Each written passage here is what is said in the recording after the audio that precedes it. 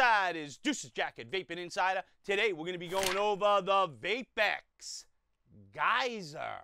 Look at that funkadelic looking 21700 pod system. Yeah, man, it's kind of funky looking, huh? Kind of looks like an old radio or something like that, almost like an old walkie-talkie, right? Before we get into the video, click the link down below in the top comment in order to join our Facebook group. We're going to check out the packaging on this. And you guys know I really don't spend a lot of time on the packaging unless it's really nice, but they did a bang up job on this. Look at the way this thing opens up. Look at the way they lay everything out. It even comes with a 21700 battery. I mean, what a bang up job they did on this. Now, you'll notice here it says there's going to be a 510 adapter and a dual uh, coil RDTA for it as well. All right, and then they list the coils over here. But bang up job, bang up job on the packaging, man. Really, really nice job. You open it up, the presentation is just beautiful. I mean, look at that packaging. Nice, nice job. I can't say it enough. I'm kind of digging this 18650 adapter.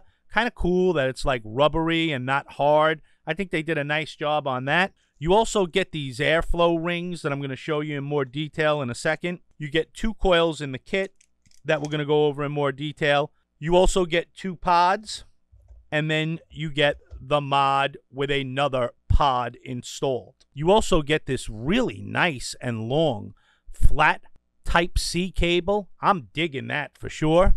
And you get these tools right here that I'll show you how to use as well. First things first, let me show you the coils. Look at the difference in the coils. This one belongs in one tank, the, the tank that was on the side. This one goes in the tank that was pre-installed. Let's go over the small one first. You can see it says X coil, all right? This is what I really like, what they did, man. 35 to 45 watts, 0.2 ohm Kanthal, very clearly marked on the coil. Absolutely love that.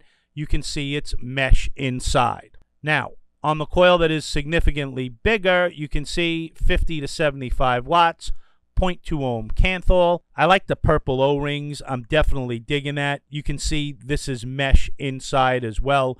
We're going to try the big boy coil out first. All right, so this is the pod that takes the smaller coil, all right? You can see different drip tip. It's that sleeve style drip tip. Again, digging those purple O-rings but it's a proprietary drip tip. Not too happy about that, all right? Also, not happy about how dark, how dark is this pod? I mean, ridiculously dark. Really, really is. Now, I'm going to show you how to fill it up, but I'll show you how to fill it up when it's on the mod because it's actually a lot easier, okay? Now, plug and play style coil. You can see you got those like that like rails. See those two square pieces there, right? So those square pieces are going to line up with those square plastic pieces, and then you just push it in. And it seems like a really nice, tight fit. Now, they also give you this little mini, like, crowbar, so you can take your coil out with ease, because it's kind of tough to get your fingers in there, all right? So that's a nice job. I mean, you could use anything, but it's nice that they gave you a little tool that pops it out like that lets me know that they're thinking about details. I like to see stuff like that by companies, okay? Now, here's your airflow right here, right? Now, when it's on the bottom, it's basically fully open, right? When you turn it, you flip this thing to turn it, right? And you turn it all the way to the top. That's basically your tightest setting right there. Okay, that is your tightest setting. So, you know, halfway would be probably middle of the road right there, like that. Kind of digging that honeycomb, that cheese grater style look. Not a bad job on that whatsoever. Now, the other thing is, right, while I got this pod out, and you can do this with both pods, okay, you get these other airflow rings. And you see that one little slot right there? That's all your airflow as opposed to all this, okay?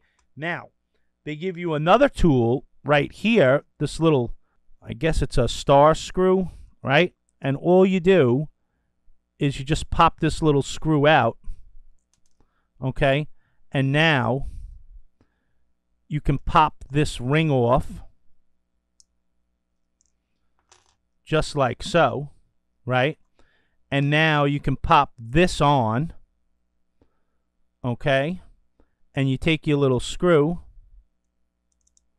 put it back in there, and just tighten it down. And now you got airflow. You got a different type of airflow. Kind of cool. Don't know if that's really going to be my jam right there. Um, I might reverse it on both of them and see how it works. In fact, let's do that. Let's take this one off as well, and let's uh, see how it works with the airflow inserts. All right. Again, very simple. Let's pull these screws out. Pop that piece off. Pop this piece on. Screw back in there just like that. Get your included tool. Give that screw a twist.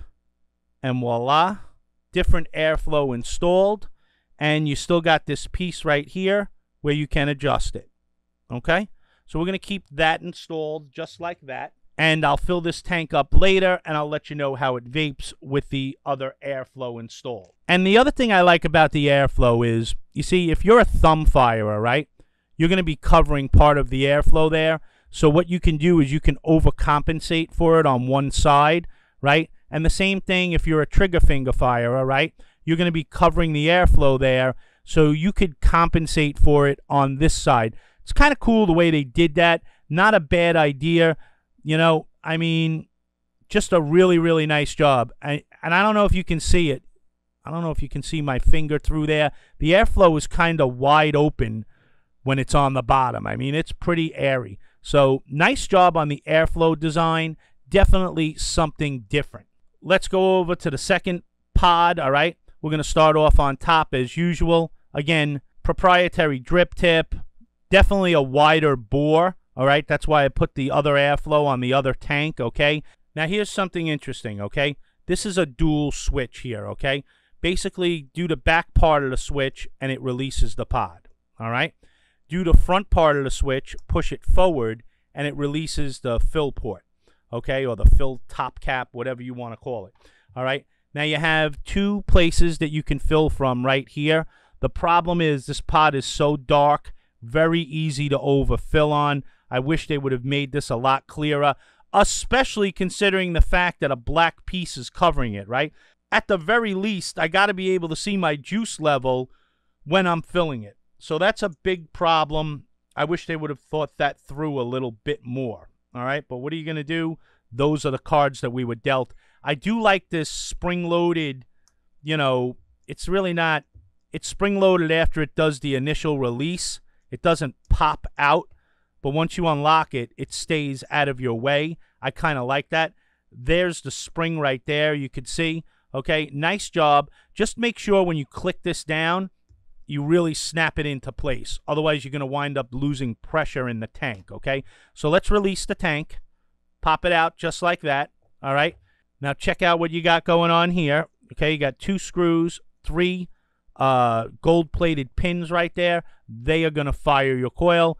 Nice, nice way they did that, man. They did a nice job on the inside there. That's a metal latch right there. I like the way they did that. Nice job on that. So let's go over the pod that houses the bigger coil, okay? Same type of airflow as I showed you on the other one, all right? Just a bigger opening for your coil, all right? And a different drip tip. Now, again, when you're installing this coil, make sure those flat sides line up with the plastic flat sides and just pop it in there, man. Just pop it in there nice and easy, okay? And I would suggest, you know, the best way to fill this thing is to definitely put it on the mod, all right? And fill it up that way, okay? Juice we're going to be using today is Johnny's Juice Havana Hookah. Great summer vape. Go check it out. So now in order to fill this thing up, put your juice nozzle in there, give it a squeeze, all right? And just be careful because like I said, it's dark and it's very, very hard to see your juice level. I mean, it's almost impossible. You'd have to hold this up to a really bright light in order to see your juice level. So just be very, very careful. Okay? That's all I'm telling you. It's one of the big cons on this device. I don't know why they made this pod so dark. And there you go. Did you see it come out there? There you go. That's the problem. So once you got it all cleaned up and wiped down, just make sure it clicks into place. I wish this had a more satisfying click so I'd know it's in place, but you can give it a test and make sure it definitely is in place. Okay? You also have this right here, I guess for a lanyard or something, right? I, I don't know who would want to hang this heavy mod around their neck, but I guess people do. Now, let's take a look at the mod. Very aesthetically pleasing. I wish they would have relocated that somewhere, like maybe somewhere in the corner here. It just looks like it's in the middle of nowhere, that Type C port. I wish they would have put it here or something, all right? Um, made out of plastic and metal. There are plastic parts and metal parts on it, okay? There's your fire button right there. It's kind of, if you look at it, it's kind of like a trigger style fire button. There is your screen right there, up and down buttons, some Vapx branding right there, okay? Now, here's the interesting thing, right? On the bottom, you would think you'd have a slider here for the battery. No, you don't. You don't. Let me show you how this battery door works. And let me show you the surprise when I open it. Pop it down just like that. And look at that. Look at that, huh? It comes with a 21700 battery pre-installed. Now, is it the best 21700 battery? I don't know. Is it Mooch approved? Definitely not. I don't think so. But you just pull that plastic tab out of there because that stops it from firing and you can run all your other 21 700s in it as well. Okay, so it's a nice job that they include one. All right, I like that a lot. Definitely, definitely impressed by that. Now, look at this clear battery indicator markings in blue and red. Beautiful, beautiful job on the clear battery markings. Okay, lets me know that this company is listening to reviews. Button gold plated style contact on the bottom spring loaded, gold plated battery contact on the top. All right. Follow the battery markings, put it in top first, and just slide it in just like that. Now, here's the nice thing about this battery door as well. And I don't know if you're seeing this. You see these little teeth right here? It's got like these little teeth, like a rail system with teeth. And when you slide that battery door up, right, it just snaps into place. You hear that? You hear that? Listen again. I like that. I like that click. Great battery door. Bang up job on that Vapx. All right. Five clicks, you get the Vapx splash screen. Now, the funny thing is, when I first saw this screen, I was like, wow, that screen looks familiar. It looks very much like the Geek Vape chipset. All right, you can see it scrolls in 0.1 watt increments. Does scroll pretty fast, all the way up to 100 watts. It does round robin. Okay, now as far as the screen goes, you got your power mode, wattage. Those are your battery bars right there. You can see I have three out of six. There's your resistance, your amps, your volts, and your puffs. Okay, nice job on the screen. It's nice and bright. All right, now if you hit the button three times, saw power highlighted. All right, TCNI, SS, TI, TCR, there's your curve mode. There's your bypass mode. Back to power mode. Hit the power button again, and you can see I can lock my resistance by the coil there for when I'm in TC. Hit it again, and there I can clear my puffs. All right, so nice job on that. I'm back in power mode now. If I hit the plus and minus button together, it locks the mod. When it locks the mod, it means I can't adjust the wattage up or down but I can still fire it. Okay? Hit plus and minus again, and it unlocks the mod. All right? Hit the plus and fire button together, and now I can decrease or increase my screen brightness, but you have to keep your finger on the fire button. And that's it, folks. That's really the whole menu system. Let me show you one last look around the mod. All right? Let's go back on top and let's vape on it and see how it performs. Let's go over those cons and pros. We got a ton of stuff to go over on both sides. First con's gonna be, you guys know I hate it, proprietary drip tip, big no-no Vapx. Filling this thing. Filling this thing is very, very messy. You cannot see your juice level on it. Added to that, I don't know how well of a seal that that cap actually makes because I've been leaking through the airflow like a sieve. Like a sieve. Every time I pick this thing up, I get a handful of juice. It's annoying as hell. Now, I don't know if I just got a faulty top cap and it's not creating a vacuum or if that's just inherent across the line. I don't know because Vapx only sent me one. I already touched on it a bit. The pods on this, way, mm. way, way too dark. Vapx, you got to start watching reviews. We don't want dark pods. I like the fact mm. that you have those airflow reducers. However, they don't give you a spare screw. So if you lose one, you're SOL, baby. In the beginning, I told you about the funky mm. looks. Some peeps are just not going to like the looks. It's a very nitpicky con, but I got to point it out because of the unique shape and look of it. That Type-C mm. port location, it's right below where I get all the leakage from. I mean, come on, man. You don't put a Type-C charge port right below the airflow like that. It's just stupid. I mean, it's just a ridiculous location. It should have never been put there. And the last con's going to be, even with the MTL coil, even with the airflow shut down all the way, this is not a legit MTL setup in my opinion. I would have liked to have seen more range on the airflow. It's more like a restrictive DL. So that's it on the cons. Let's move on to the pros because it's got just as many pros, if not more. First pro is going to be I love the shape. I'm digging the form factor. It almost feels like when you uh, fire it with your finger that it's like a trigger style. I kind of like that. I'm digging the form factor big time. It takes a 21700 battery. It comes with a battery and it's a pod system. What's not to like about that? It's all pros, baby.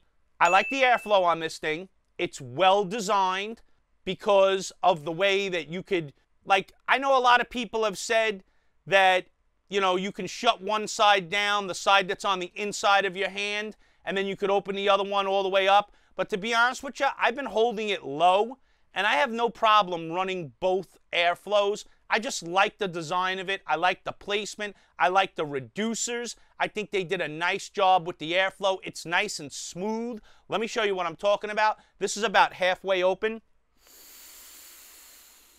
You can hear the smoothness, right? Now, if I click those things up and open it all the way up on both sides, right? And by the way, I like the design of that little piece that flips up to adjust it. That's a nice job as well. Listen. I mean, super, super smooth, wide open. Just really, really nice. I like the way they incorporated that button in order to open the top cap and release the pod. It's like a two-in-one button. Push it one way, it releases the cap. Push it the other way, it releases the pod. It's very innovative. I don't know how good that top cap does as far as sealing it. I think it's an issue, but it's definitely innovative. I got to give them props for that. This thing, even with a 21700 battery installed, extremely lightweight. I love it. So far, man, the coils, the coils have been on point. I'm getting great flavor. Let me show you the big coil, 75 watts. Check it out. Very nice, full-on flavor. When I cut the airflow down, let me do it right now, about halfway, I definitely get thicker clouds and better flavor. Same wattage, 75 watts. Watch. Flavor definitely intensifies. Really, really nice flavor. Fully saturated. I like running it best with the airflow half open. I got to give them credit. The fire button, nice and clicky. Up and down button, nice and clicky. Buttons are good all around. I like the capacity. I like the screen. It's a nice, crisp color screen that you can see in all lighting conditions. No issues with it. Let's get into our five star rating system. First category is going to be the looks. I already told you, I really dig it. I like the funky look. I know not everybody will. I think it's a really good looking, interestingly shaped pod. I've definitely been digging it, that's for sure. It comes in gray, black, and red, so it's got a nice color choice there. In the looks category, I'm going to score it a full point above average. We'll give it a three and a half. As far as coil performance goes, I've tried both coils that come in the kit. I already told you I like the bigger one better. I wish I didn't have the leaking issue that I have. I don't know if it's actually a coil problem or if it's a problem with the top cap. I think it's a problem with the top cap, but as far as pure performance goes with the flavor on the coils, it's definitely on point. It's a nice coil system. Again, I'm going to put it a full point above average at three and a half stars. As far as the airflow category goes, I already covered that. I like that they included restrictors. I like those little pop-up things for adjustment right there. I think it's very well thought out. I think it's very well designed. It's also very smooth as well. So I'm going to give them four stars on the airflow, even though I do wish they would have included another screw for the restrictors, just a spare one in case. As far as the value goes, I haven't seen a big disparity in it. I've been seeing this right around $55. Definitely on the high side for a pod. However, you do have to take into consideration that you do get a 21700 battery with it. There's definitely some value there, no doubt about it. You also get two pods with two coils, so there's some value in that as well. It's not a terrible price. It's not a great price. I would put it right at average at around two and a half stars. We're going to take all these stars, we're going to add them all up, and we're going to come up with a total star count of 13.5 stars, 13 and a half stars. We're going to take those 13 and a half stars, we're going to divide them by four, and we're going to come up with an average star count of 3.375, which puts this thing about three quarters of a point over average. Not a bad effort by Vapx. It's not something I'd run out and go buy. It's not something I'd stay away from either. It definitely has its attributes as far as the flavor and the clouds and coming with a 21700 battery. If this is the type of styling you like, definitely go check it out. You do get better battery life than most pods because of the 21700 cell. Let's get into some of the specs on the Vapx Geyser AIO Pod Kit. It measures in at 87.7 by 30.9 by 53.5 millimeters. It has a 100 watt maximum and it comes with a single 21700 cell. It has a 6.5 ml capacity and it will fire down to 0.1 ohms. Two pods are included in the kit, as well as two coils. You get a 0.23 ohm single mesh coil, good for 35 to 45 watts, and you get a 0.23 ohm single mesh coil, good for 55 to 75 watts. It is available in black, gray, and red. I don't know if you noticed, insiders, but I'm wearing a different uniform. That's right, I'm wearing the official Vaping Insider rally shirt. We're going to be at the rally this week, this Saturday. I'm hoping to see you there. We all got to fight for a right to vape. Make your plans, show up at the Ellipse in Washington, D.C., and make sure you come over and say hi. Also, don't forget to head on over to our Vaping Insider community on Facebook it's a great community. The people there are very knowledgeable, they're very friendly, very newbie friendly. The feed is very active there. I'm there 24 7. I'd love to see you there as well. And that's it, insiders. That's all I got for you guys today. You keep living that vape life. We're out of here. Deuces.